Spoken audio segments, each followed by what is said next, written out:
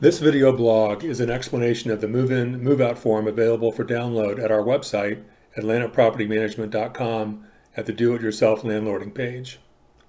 Move-in, move-out forms are vitally important to Georgia landlords, and here's why.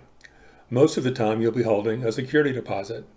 At the time of tenant move-out, you'll want to withhold funds from the security deposit for damages to the property over and above ordinary wear and tear.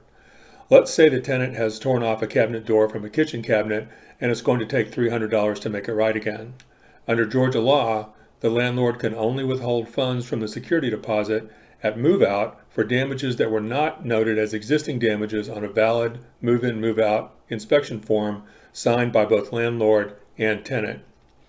If you never get a move in move out inspection form signed by the tenant, or if you do get one but you lose it, you can't withhold funds from the security deposit at move out. If you do withhold funds from the security deposit at move out and you don't have a valid move in, move out form, then the tenant can claim treble damages. Let's say you have a tenant who has done a lot of damage over and above ordinary wear and tear to the property. You're holding a $1,500 security deposit and you do not have a valid move in, move out inspection form. If, we, if you withhold all the money, $1,500, and the tenant goes after you for treble damages, the tenant will get a judgment against you for $4,500. You don't want that.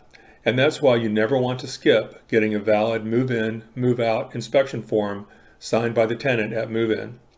The form must note any pre existing damages at the property for which the tenant does not wish to be held responsible at move out. I am not an attorney and do not provide legal advice.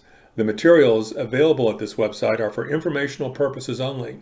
You should contact your attorney to obtain advice with respect to any particular issue or problem. Good luck out there.